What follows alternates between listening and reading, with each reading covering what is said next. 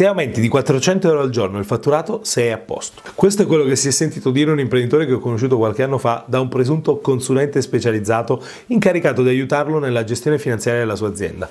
Il compito di questo professionista sarebbe dovuto essere quello di far andare meglio le cose. La storia di questo imprenditore è molto comune purtroppo, qualcosa che ho già visto accadere numerose volte, ma non per questo meno significativa. Alessandro era un imprenditore alberghiero, aveva gestito insieme a sua madre e a suo fratello un albergo che era appartenuto ai nonni al quale erano sentimentalmente molto legati. Una bella struttura, piena di ricordi della loro infanzia, molto frequentata e ben avviata quando l'avevano rilevata. Alessandro lavorava in reception e il fratello seguiva il ristorante annesso all'hotel. Avevano sempre diviso i compiti in questo modo e la sinergia fra i due aveva sempre portato ottimi risultati. Quando l'albergo è passato a loro sono iniziati i primi problemi. Lanciati dall'entusiasmo del progetto e desiderosi di fare di più e sempre meglio, avevano chiesto alcuni finanziamenti alle banche per i lavori di ammodernamento. Finanziamenti di questo tipo rischiano rischiano davvero di rovinare tutto il tuo, il tuo futuro. Tra poco ti spiego anche perché.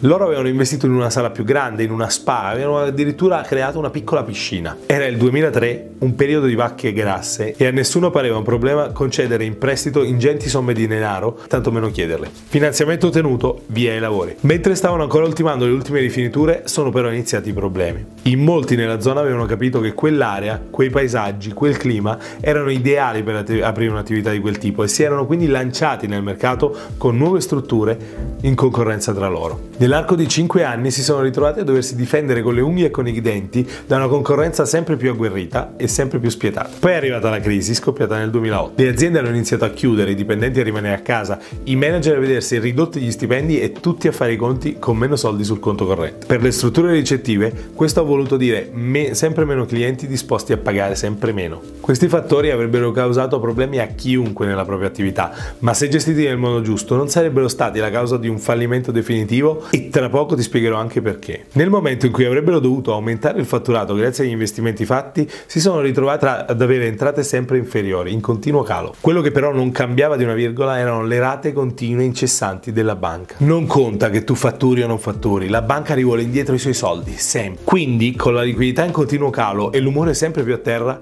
Alessandro e suo fratello andavano ogni giorno a lavoro cercando di sorridere e di non far pesare i problemi i po- ai pochi dipendenti rimasti. Erano sempre state due persone allegre, ma svegliarsi la mattina diventava sempre più faticoso. Superare la soglia dell'albergo, una fonte di continua ansia. Guardare la sala vuota e la porta girevole immobilizzata gli faceva rimpiangere i bei tempi passati. Le camere piene, la sala da pranzo affollata. Questo veniva in mente ad Alessandro quando si ritrovava in terrazza a pensare a, come avrebbero pagato le spese di quel mese. Il suo è uno dei casi studi negativi contenuti nel libro Aziende che si finanziano da sole, che puoi acquistare cliccando sul link che trovi nella descrizione o digitando quello che leggi in sovraimpressione. Se aumenti di 400 euro al giorno il fatturato, sei a posto. In questa fase della sua vita imprenditoriale era arrivato il grande consulente super esperto che aveva pronunciato questa frase sconcertante. Alessandro non era certo un esperto di finanza aziendale, ma nemmeno uno stupido, e aveva capito subito l'idiozia di quello che gli stava dicendo. Guarda Giuseppe, è che mi hanno cresciuto con una certa educazione, perché ti giuro che c'era da mandarlo a fare un giro. Questo mi ha detto quando, quando ne abbiamo parlato.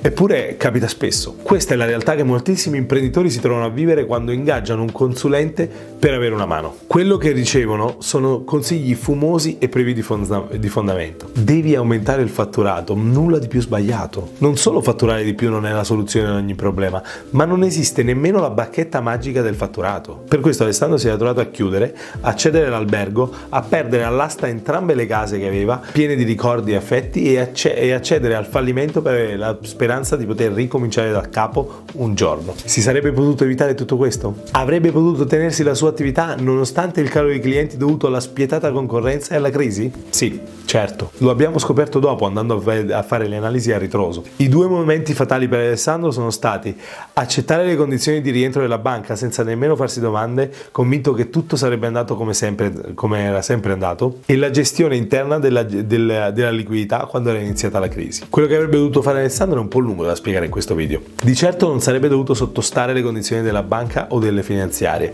ma avrebbe dovuto ottenere condizioni di finanziamento più accettabili e sopportabili prima di fare quell'investimento. L'ho spiegato nel libro Aziende che si finanziano da sole, che puoi acquistare cliccando sul link che trovi nella descrizione o digitando quello che leggi in sovraimpressione. All'interno di Aziende che si finanziano da sole ho sintetizzato quello che ho imparato in anni di studio e applicazione pratica di procedure fondamentali per far crescere una PMI in maniera sana, equilibrata e libera dai debiti aziendali. Il manuale è un distillato di istruzioni pronte all'uso raccontate attraverso decine di casi pratici, racchiuse nelle 516 pagine del primo libro di finanza aziendale scritto per gli imprenditori e non per gli addetti ai lavori. Aziende che si finanziano da sole è infatti un libro in cui si parla di finanza, di aziende e delle azioni da fare per creare un'impresa in grado di crescere ed espandersi senza risorse esterne, solo sulla base dei propri flussi di cassa. Ma spiega in maniera semplice anche come applicare queste procedure alle aziende che attraversano momenti difficili come quelli che tanti imprenditori stanno attraversando in questo periodo. Puoi acquistare cliccando sul link che trovi nella descrizione o digitando quello che leggi in sovraimpressione. Sono sicuro che non te ne pentirai, così come non l'hanno fatto le migliaia di imprenditori che l'hanno già letto. Nel libro non troverai semplici teorie, ma la descrizione di come abbiamo applicato con successo le procedure di gestione finanziaria per le PMI basate sull'autofinanziamento a più di 2000 aziende. Imparerai a ricavare il denaro necessario per realizzare i tuoi progetti o ripagare l'indebitamento della tua azienda senza ricorrere ai finanziatori esterni. Aziende che si finanziano da sole è un concentrato di protocolli e strategie fondamentali per creare un'azienda che si autofinanzia. L'unica tipologia di impresa in grado di sopravvivere, crescere e prosperare anche in periodi di recessione economica. Il libro contiene decine di storie di imprese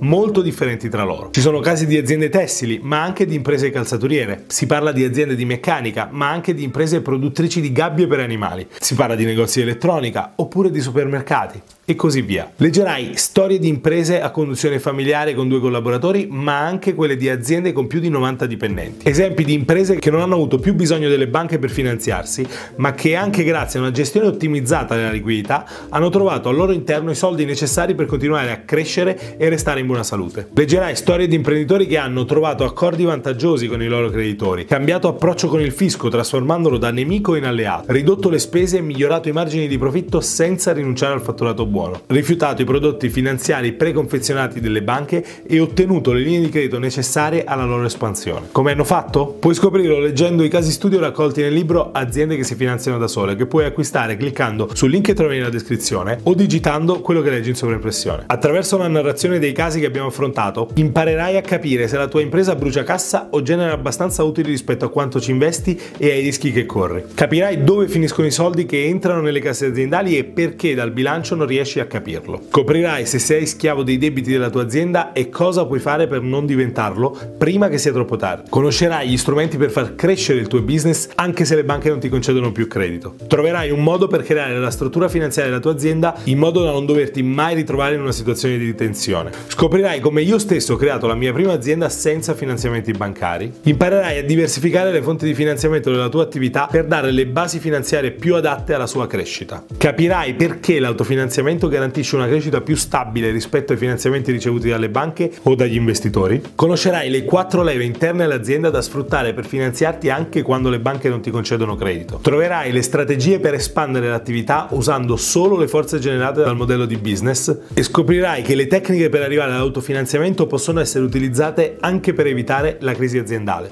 Imparerai quindi a sviluppare un'analisi strategica della tua azienda che ti permetta di cogliere i suoi punti di forza e quelli di debolezza in modo da risolvere eventuali problematiche, capirai quali sono i segnali di una crisi aziendale e imparerai a prevenirla. Imparerai inoltre a trasformare i debiti in liquidità per l'azienda grazie alle tecniche di negoziazione applicate alle imprese in difficoltà e scoprirai molte altre soluzioni per la gestione finanziaria della tua azienda o la ristrutturazione dei debiti alle quali probabilmente non avevi mai pensato o che non sapevi come realizzare. Acquista anche tu aziende che si finanziano da sole cliccando sul link che trovi nella descrizione o digitando quello che leggi in sovraimpressione.